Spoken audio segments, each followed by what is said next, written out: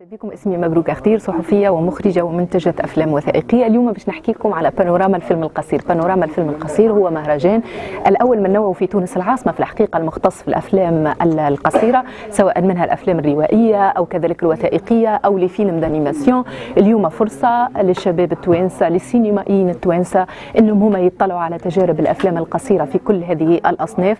من 4 ل 6 فيفري في مدينة الثقافة في قاعة الطاهر الشريعة من, الخ... من الثلاثة للخمسة ونص نتاع العشيه إحنا على موعد مع 21 فيلم آه، من برشا بلدان في الحقيقة من تونس من ليبيا من الجزائر من المغرب من مصر. آه، الأفلام هذه الكل باش آه، تتعرض على جمهور السينما في تونس.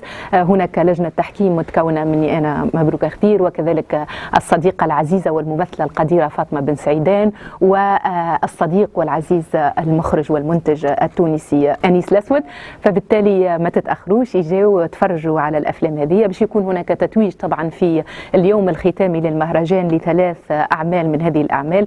ولكن المهم مش التتويج المهم إنه اليوم إحنا على موعد مع أفلام حلوة برشا تتناول العديد من القضايا. فيها أفلام فيها رسائل فيها أفلام كذلك تحسيسية يمكن إنها هي تكون فرصة أنه نوصلوا أصواتنا عبر السينما حول القضايا اللي نعيشوها الكل في بلداننا في العالم العربي أو كذلك آه، في آه، آه، يعني العالم ككل لأنه هو بانوراما الفيلم القصير مهرجان دولي وإن شاء الله يطمح هذا المهرجان أنه يتطور. هذه الدورة الخامسة ولكن إن شاء الله في الدورات اللاحقة يكونوا فما مشاركات من بلدان أخرى والمهرجان هذا يكبر ويولي فرصة أنه يكون فما مهرجان للفيلم القصير في تونس ينفتح على داخل داخل مناطق الجمهورية ويولي فما عروض حتى في مناطق الجمهورية الأخرى. ما تتأخروش إجاو تفرجوا على السينما عيشوا السينما ونعيشوا مع بعضنا تجارب سينمائية حلوة.